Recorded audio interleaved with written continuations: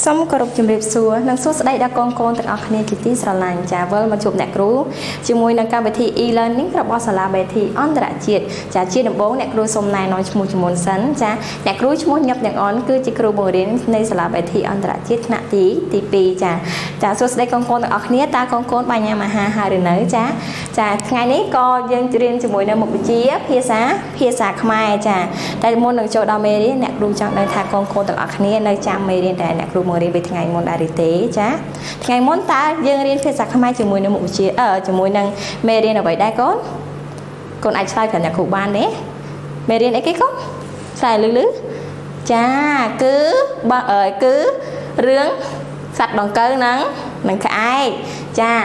ចាកូនកូនទាំងអស់គ្នាអញ្ចឹងហើយមុនថ្ងៃមុនមុននឹងយើងសម្រាប់គឺអ្នកគ្រូបានដាក់ជាមួយនឹងអីដែលឲ្យកូនដែរគឺដាក់នឹងកិច្ចការការផ្ទះចាអញ្ចឹងមុននឹងចូលដល់មេរៀនថ្មីអ្នកគ្រូសូមធ្វើកំណែកិច្ចការផ្ទះជូនកូនទាំងអស់គ្នាសិនចាអញ្ចឹងយើងបែរមកមើលកិច្ចការផ្ទះរបស់យើងគឺមានពីរចំណុចមែនទេគឺចំណុចកនិងចំណុចខចាចំណុចកចូលពន្យល់ពាក្យពាក្យទី1ប្រស្នា ថ្នាក់ពាក្យជំនាមមានន័យថាចំណោទពាក្យទី2ប្រាជ្ញាថ្នាក់ពាក្យជំនាមមានន័យថាការយល់ជាក់ច្បាស់ចាចំណុចខចំណុចខអ្នកគ្រូឲ្យកូនទាំងអស់គ្នាចូលរួមបំពេញជាមួយអ្នកគ្រូណាព្រោះកន្លែងនេះគឺបំពេញចន្លោះចាចូលបំពេញល្បះខាងក្រោមឲ្យបានត្រឹមត្រឹមត្រូវ1 សត្វដង្កូវស៊ីចុចចុចជាអាហារអញ្ចឹងកូនដឹងទេតើសត្វដង្កូវស៊ីអ្វីជាអាហារកូនសត្វដង្កូវស៊ីអីសត្វដង្កូវស៊ីជាឆ្លើយលឺលឺស៊ីអីចាស៊ីស្លឹកស្លឹកឈើកន្លែងនេះយើងបំពេញពាក្យថាស្លឹកស្លឹកឈើចាចាកូនបំពេញត្រឹមត្រូវដែរឬទេទៀងទាត់ជាមួយអ្នកគ្រូតើមើលចាចាលេខ2សត្វក្អែកមានសម្បុរ ចាអញ្ចឹងយើងថ្ងៃមុនយើងបានសិក្សាអំពីរឿងដង្កូវនិងក្អែកយើងដឹងថាសត្វក្អែកមានសម្បុរមិនដែរក៏សម្បុរបានន័យថាពណ៌របស់វាសម្បុរអីចាសម្បុរសម្បុរខ្មៅ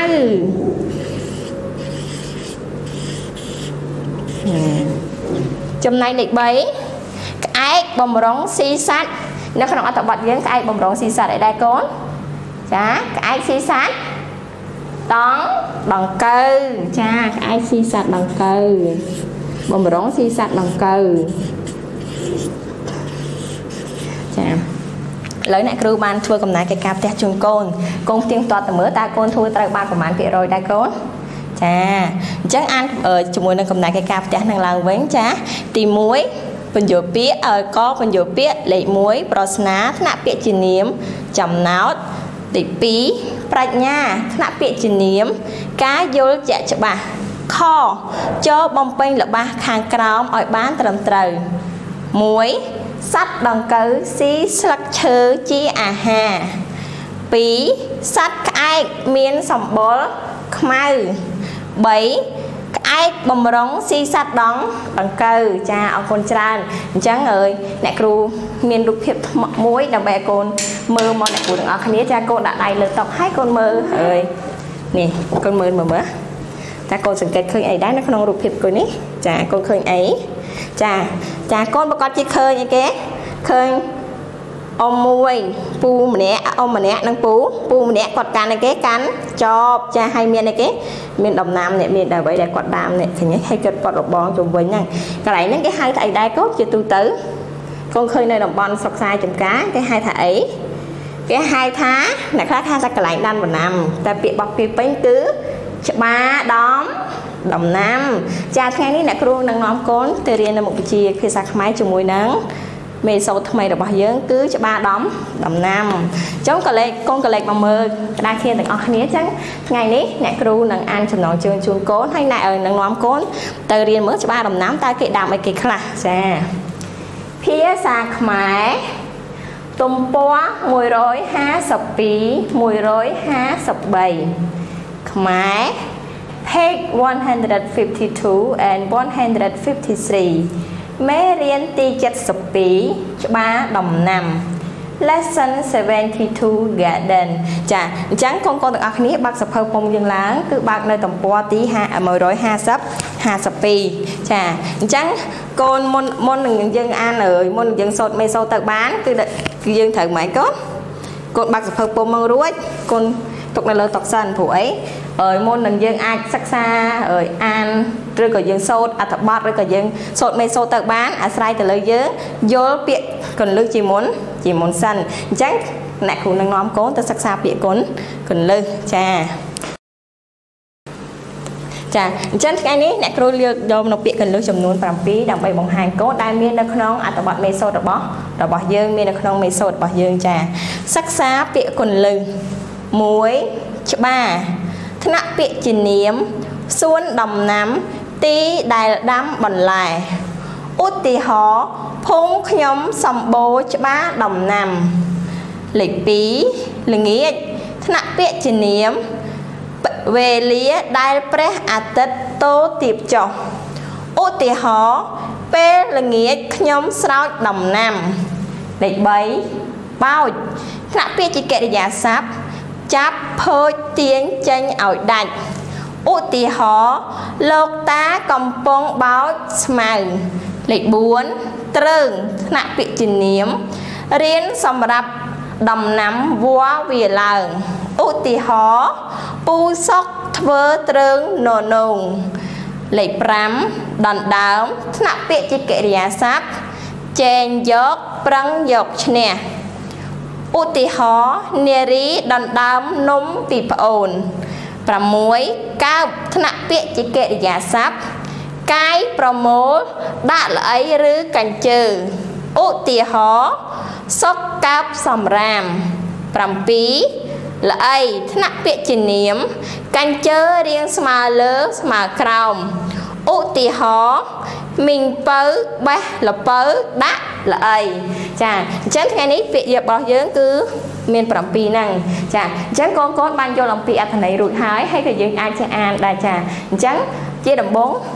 បន្តមកទៀតនេះមុននឹងយើងសូត្រមេសូត្រទៅរូរស់ហ្នឹងគឺយើងត្រូវការអានវាជាមុនសិនចាអញ្ចឹង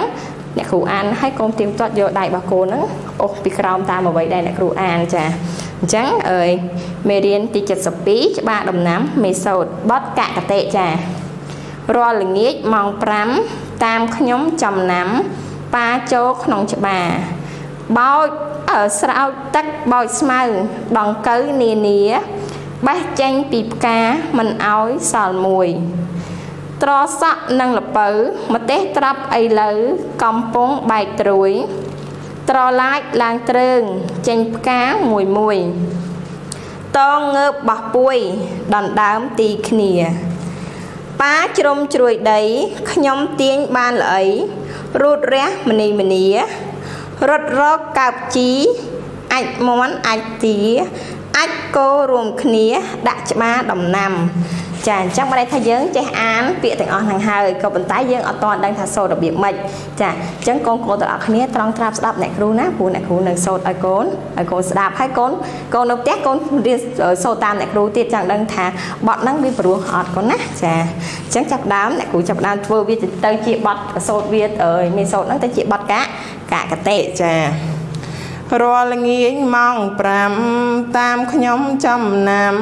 ប៉ាចូលក្នុងច្បារស្រោចទឹកបោចស្មៅដង្កូវនានាបេះចេញពីផ្កាមិនអោយសល់មួយត្រសងនឹងលពៅម្ទេសត្រំអីលើកំពុងបែកត្រួយ ត្រឡាចឡើងទ្រើងចេញផ្កាមួយមួយ តងើបបោះពួយដណ្ដើមទីគ្នាប៉ាជ្រុំជ្រួយដីខ្ញុំទាញបានល្អីរូតរាំងមនីមនីរត់រកកើបជីអាចមន់អញទាអញក៏រួមគ្នាដាក់ច្បារដំណាំចាកូននៅផ្ទះអាចធ្វើបានទេ ចឹងអ្នកគ្រូសូត្រឲ្យកូនម្ដងអញ្ចឹងកូននៅផ្ទះកូនសូត្រម្ដងឬក៏ពីរបីដងទៅដើម្បីឲ្យការសូត្ររបស់កូនហ្នឹងគេស្ទាត់ស្ទាត់មាត់ចាកូនចាំហើយកូនអាចចាំបានច្រើនចាអញ្ចឹងបន្ទាប់ពីយើងអាសូត្រនៅមេសូត្ររួចអ្នកគ្រូមាន4សំណួរចានៅក្នុងក្រោយមេរៀនយើងគឺមាន4សំណួរតាអញ្ចឹងសំណួរទី1គេសួរថាតើរាល់ល្ងាចប៉ាធ្វើអ្វីក្នុងច្បារចាអញ្ចឹងកូនមុននឹងអាចឆ្លើយសំណួរនេះបានកូនត្រូវមើលនៅក្នុង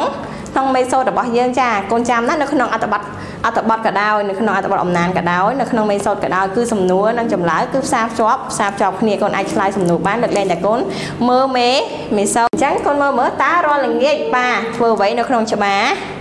ណាកូនអាចឆ្លើយបានចាប៉ាស្រោចទឹកបោចស្មៅនិងបេះដង្កូវចេញពីពីផ្កាចាសំណួរទី2តើនៅក្នុងច្បារមានដំណាំអ្វីខ្លះ សំណួរទី3តើគេប្រើជីអ្វីខ្លះសម្រាប់ដាក់ដំណាំ សំណួរទី4តើគេជួយធ្វើការអ្វីខ្លះក្នុងច្បារតែគ្រូបានចម្លើយសិនអត់ទាន់ឲ្យកូនមើលទេកូនសាកគិតខ្លួនឯងសិនណាចាអញ្ចឹងទៀងទាត់ចម្លើយជាមួយអ្នកគ្រូទាំងអស់គ្នាណាតើការគិតរបស់កូននិងជាមួយចម្លើយរបស់អ្នកគ្រូតើត្រឹមត្រូវដែរឬទេចាត្រឹមត្រូវជាមួយកូនអត់ចាចាចាចម្លើយលេខ1រាល់ល្ងាចប៉ាស្រោចទឹក បោចស្មៅនិងបេះដង្កូវចេញពីផ្កាក្នុងក្នុងច្បារចម្លើយទី2នៅក្នុងច្បារមានដំណាំដូចជាដូចជាគេខ្លះហ្មងកូនកូនកូនអានទៅកូនសូត្រទៅកូនកូនមានអីគេខ្លះនៅក្នុងហ្នឹងចាអ្នកគ្រូមានរូបភាពបង្ហាញកូននៅក្នុងហ្នឹងមានអីមានដាំអីគេខ្លះ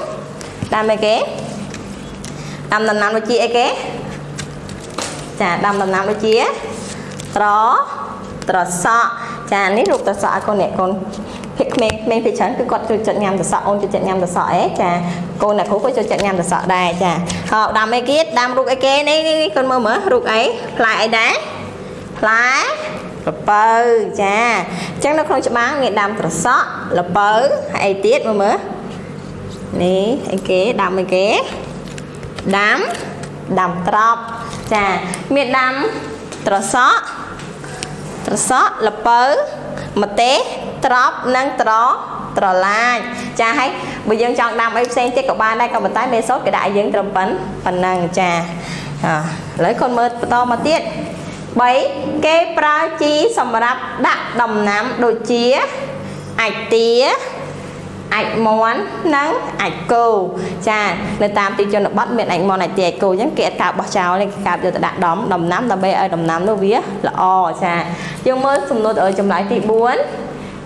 គេជួយធ្វើការក្នុងច្បារដូចជាកើបជីអាចមន់អាចទាអាចគោដាក់ច្បារដំដំណាំចាអញ្ចឹងនៅចុងក្រោយគឺអ្នកគ្រូមាន ជាកិច្ចការផ្ទះជូនជូនកូនចាស់ឲ្យកូនទាំងអស់គ្នាធ្វើកិច្ចការផ្ទះឲ្យបានត្រឹមត្រូវទាំងអស់គ្នាឥឡូវចង់ដឹងអ្នកគ្រូដាក់កិច្ចការផ្ទះអីគេមើលមើលកិច្ចការផ្ទះសំណួរចាអ្នកគ្រូដាក់សំណួរចាសំណួររបស់អ្នកគ្រូមាន3ចា លេខ1តើនៅក្នុងច្បារមានដំណាំអ្វីខ្លះចាក្នុងច្បារដែលយើងរៀនមេសូតមិញហ្នឹងតើមានដំណាំអ្វីខ្លះកូនឆ្លើយមកណាចាទី2តើគេប្រើជាអ្វីខ្លះសម្រាប់ដាក់ដំណាំចាហ្នឹងក៏នៅក្នុងមេសូតរបស់យើងយើងដែរចំណែកសំណួរទី3គឺអត់នៅក្នុងមេសូតទេចាតើនៅផ្ទះប្អូនមានដាំដំណាំអ្វីខ្លះចាសំណួរទី3នេះគឺតកតងជាមួយនឹង ផ្ទះរបស់ប្អូនចាមានដាំដំណាំអីគេខ្លះកូនឆ្លើយប្រាប់អ្នកគ្រូមកចាអញ្ចឹងការបង្រៀនរបស់អ្នកគ្រូក៏ចូលមកដល់ទីបញ្ចប់ជាចុងក្រោយអ្នកគ្រូសូមជូនពរឲ្យកូនមានសុខភាពល្អហើយខិតទី1គឺកូនខិតខំរៀនទី2អីទៀតសម្អាតអនាម័យខ្លួនខ្លួនប្រាណចាជំពរកូនសុខភាពល្អរៀនពូកែគ្រប់គ្រប់គ្នាអ្នកទាំងសូមអរគុណសូមជម្រាបលា